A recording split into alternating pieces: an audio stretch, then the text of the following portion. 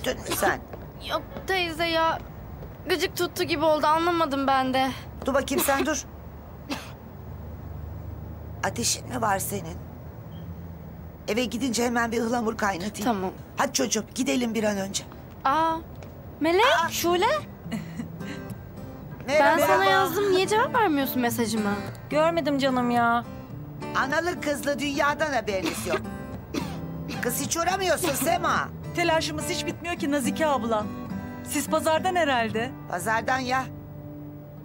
Sen ne yapıyorsun melek kızım, güzel kızım? Gece gündüz çalışıyorum ne yapayım ya? Üniversite sınavı da yaklaşıyor. Yaparsınız siz. Ben size güveniyorum. Bahtınız da gönlünüz gibi güzel olur inşallah. Amin amin. Hadi biz gidelim artık.